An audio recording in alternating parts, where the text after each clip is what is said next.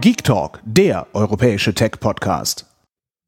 Einen wunderschönen guten Morgen. Donnerstag, der 29. März 2018. Ihr hört die Geek Talk Daily 341 und ich habe heute die folgenden Themen mit für euch dabei.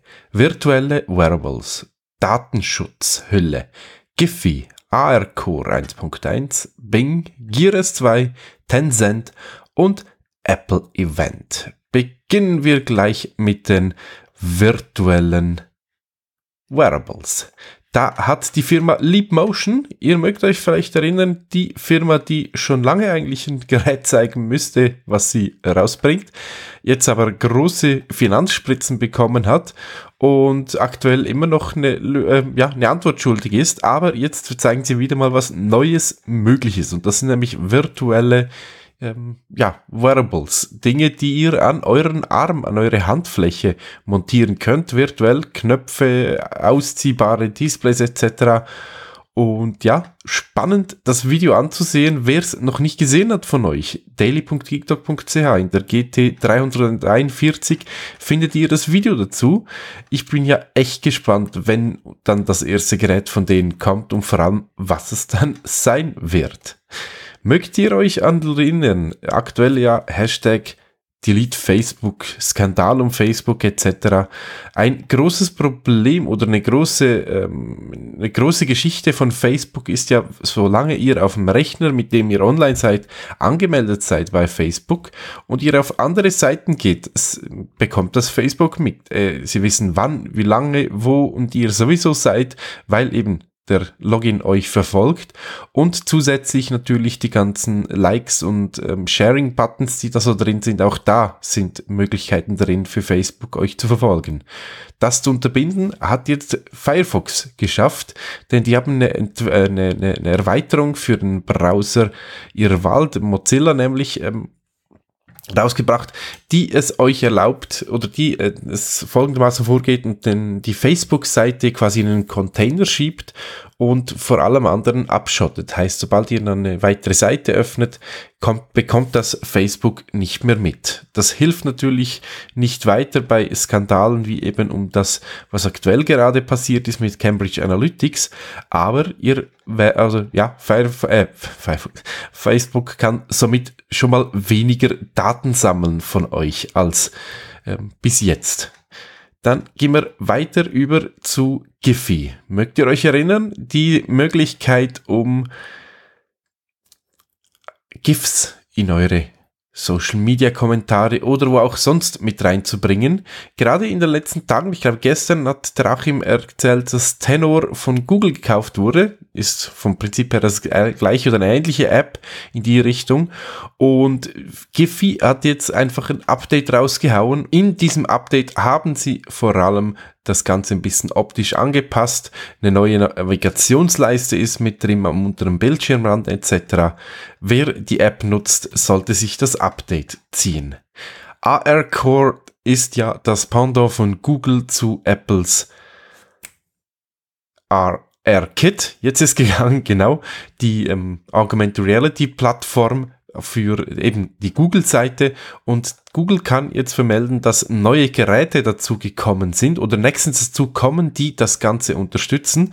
Anders als auf der Apple-Seite, wo ja jedes Gerät, aktuelle Gerät zumindest, die Möglichkeit bekommt, das Ganze zu nützen, ist das bei Google schon ein bisschen anders. Da ist ein bisschen, ja, ähm, wählerischer. Das Huawei Nexus 6P, das P20, P20 Pro, das Porsche Mate Design 10, Moto Z2, Samsung Galaxy A5, A7 und A9, äh, S9 sowie ein Xiaomi Mimi Mix 2S. Das sind die aktuellen Geräte, die es nächstens dazu kommen. Es gibt schon eine Liste, die es aktuell unterstützen. Da ist das S8, das ähm, Note 8 etc. mit drin, ein Google Pixel, LG und so weiter.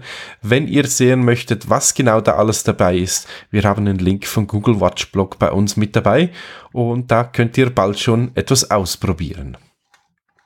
Microsoft spendiert seiner Bing-Suche, mögt ihr euch erinnern, das ist das Pendant zu Google von Microsoft, neue Features hinzugefügt. Zum einen geht es da um die bessere Integration von Cortana, sprich die Möglichkeit zu sprechen und eine Suche zu starten, aber unter anderem wurde auch die Bildersuche deutlich überarbeitet. Und ja, es gilt das Ganze wieder mal auszuprobieren, würde ich doch sagen. Wer von euch nutzt Bing als Suchmaschine? Gerne mal in die Kommentare über Social Media oder auch andere Wege in unsere Richtung. Neben meiner Apple Watch habe ich sehr gerne auch immer wieder mal die Samsung Gear S2 oder besser gesagt die Gear S2 Classic an meinem Arm. Das Teilchen ist jetzt mittlerweile schon um die drei Jahre alt und bekommt immer wieder mal ein Update. Das letzte große gegen Ende letzten Jahres und jetzt ist wieder ein größeres Update mit dazugekommen. Zum einen ist es in der Bedienung ein bisschen was angepasst worden, ein bisschen Neuigkeiten. Zum anderen wurde das im letzten Jahr die Fitnessfunktion, die deutlich aufgebohrt wurde, jetzt mit neuen Widgets ergänzt etc. Die Möglichkeit das mit dem Smart TV zu verbinden etc.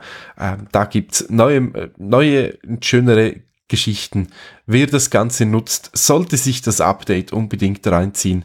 Meiner einer hat seine S2 Classic schon auf der Ladestation und ich bin gespannt auf das Update. Das nächste Thema geht in Richtung Tencent und die kaufen sich Anteile an der Online-Banking-Plattform aus Deutschland, der Bank N26. Die haben es bis jetzt geschafft, etwas über 850.000 Kunden zu gewinnen und das nächste Ziel mit eben dieser neuen Finanzspritze ist es, die 5 Millionen Kundengrenze zu erreichen. Also doch eine deutliche Steigerung. Ich bin schon mal gespannt, ob sie es schaffen. In letzter Zeit gab es ja immer wieder mal, unter anderem auch nur, weil teilweise schlecht kommuniziert wurde, ähm, unschöne Neuigkeiten aus der Richtung N26. Bin schon mal gespannt, was als nächstes aus der Ecke kommt. Da dürfte auch das eine oder andere neue ja, Feature mit dazu kommen. Dann zu guter Letzt habe ich noch zum Apple-Event, was ja gestern stattgefunden hat, was ja vorgestern. Da gibt's jetzt äh, drei Videos an der Zahl, die ihr euch anschauen könnt, falls ihr das Ganze nicht mit verfolgt habt. Es gab ja keinen Livestream, aber eben mittlerweile sind drei Videos draußen, die ihr euch anschauen könnt dazu zum neuen iPad und die ganze Bildungssoftware, die darum herum gewurstelt wurde. Ich bedanke mich nochmals vielmals beim Achim, der mich gestern vertreten hat. Ich war ja in Paris mit Huawei und ja, es war eine lange Nacht. Ich hätte es nicht mehr geschafft, vor 4 Uhr noch ähm, ja, die Daily aufzunehmen. In diesem Sinne, vielen herzlichen Dank, lieber Achim. Euch, liebe Hörer, wünsche ich einen schönen Tag, viel Erfolg und wenn ihr mögt, würde mich freuen, hören wir uns morgen am Freitag wieder. Bis dann, euer Pokipsi. Tschüss. Hört mehr Geek Talk.